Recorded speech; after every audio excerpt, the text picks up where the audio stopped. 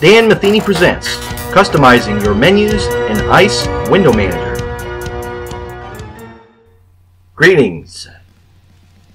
Dan Metheny again. Anyway, I'm going to make a quick video on how to do menus in ICE Window Manager. So let's go ahead and check things out. Well, I changed some things around. I no longer have certain things, certain programs.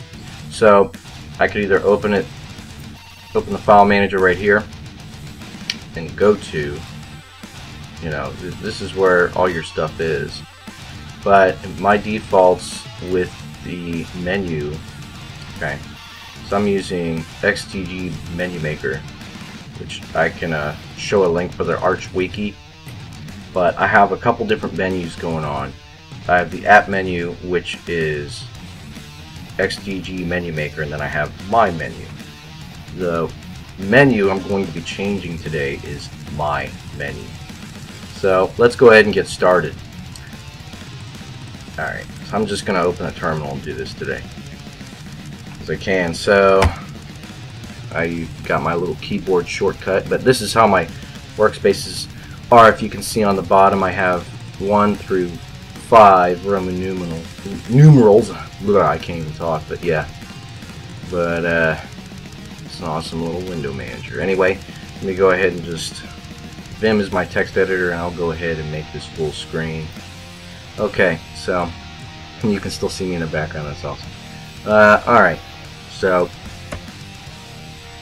I'm gonna edit my menu today. So just to show you an example on how how the uh, infrastructure of how this is set up. Now, for instance, you know, if you look right here, these are the menus. I had Microsoft Edge and Pale Moon. i am going back and forth between browsers right now, but uh, I also have my toolbar, but I'll show you that also. These are my custom options, you know, for certain things I want to do. So, um, and I use Ranger, Camp, but, but I like having a lot of options, even though like most of the time now I'm using uh, Rofi to run applications. So now I'm using Rofi on here. I was using the window and keyboard, uh, window and spacebar, I should say, but yeah, I mean, XDG menu maker works fine. It's just you're not gonna have uh, you're gonna have to edit the icons yourself if you want different icons. But I'm not worried about icons. I just like the structure on how it's set up. It's easier for me to get to, but I do like Menu Maker by itself. Um, with how I have things set up, I don't want it to write directly to the menu because I like having my extra stuff here. Anyway, I'll go ahead and get started. So I'm just going to go ahead and take this out. Sometimes you have to add in another icon because the the icon that they may have for it is not there. Alright, so let's just get the show on the road here. I'm just going to replace this with Libre Wolf. I keep playing around with browsers. I can't find the perfect browser for me. But also there's other things you could do. Like I could just highlight web on there instead of using the uh, Libre Wolf icon, but we're going to try that. We're going to see how that works. But I have the same thing going on for Alacritty where I have the Xterm thing right there and I'm using Alacritty. But that's what I'm doing for that. So, um, but I don't have Microsoft Edge installed because I've been playing around with the DWM and kind of thinking about how I want to go about things. But yeah, I know we have the Brave icon IceWM. But this is if you have the icon. If you don't, you can specify an icon through the folder you have in .icewm when you copy everything over after you install it. So, and that's all good. So what we're going to do now is save this and now let's go ahead and restart IceWM and see if that all shows up. Okay, so this all shows up right here everything here shows up. So that's cool. I don't have to really edit anything else. Um, but I'm going to go ahead and give you a link for ICE, uh, not for ICE, but for XDG Menu Maker. I'll go ahead and just show you my toolbar right quick in a text editor. I'll just show you my toolbar and what's missing. If you see on the bottom, those are the applications I have on there, but I'll show you what's missing. But I'm probably just not going to worry about the toolbar since I use Rofi to uh, run applications.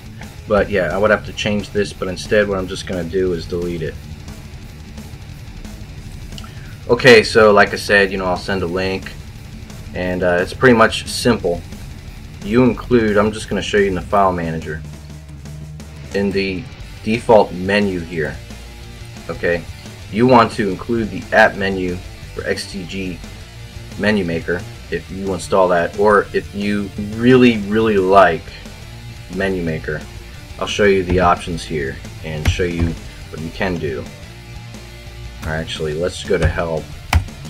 Just so I make sure that I'm right doing this. There's a list and uh, basically you can just dump the menu into a file instead. So I'm gonna do that today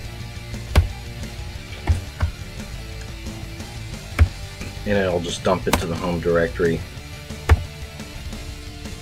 So let's just make sure that that's right. IceWM and then T for Alacritty. And I like the uh, command line based things, but you there's a lot of different options for menu maker. Um, if you don't want the uh, stuff like you know alsamixer or anything like that, you can change that. But anyway, I'll just show you what this looks like right quick. So yeah, it'll program it into here. So basically what you would do is copy all this and then, you know, instead what you do is you go to app menu. Know, I'd copy it into them because that's what I've been getting used to now. Um, you would just copy it and put it into here, but this is where your app menu's put. But this is my idea of a cool, appropriate menu. But I just wanted to show you that right quick. That's a quick video on how to change your menu in IceWM or set up some kind of custom menu. If there's programs you really like to use, I got programs all over the place. So I don't even have my web browsers up anymore because I had web browsers on the desktop and I had web browsers here and I have web browsers here. So I mean, you don't really need too many icons and I got icons right here. So anyway, you know, I might add some custom scripts or something like that because I've been using a couple different programs that are based in the terminal and stuff. But I can just, if I want to listen to one song, I'll just, I got YouTube CLI installed. You could probably do the same thing with YouTube dash DL, but you know, I'll listen to some kind of song for a second, you know, if I really am in the mood. But anyway, that concludes everything for customizing your menu in ICE Window Manager. Anyway, I hope you guys have a good day and I'll talk to you soon. See ya. This has been a Dan Metheny production.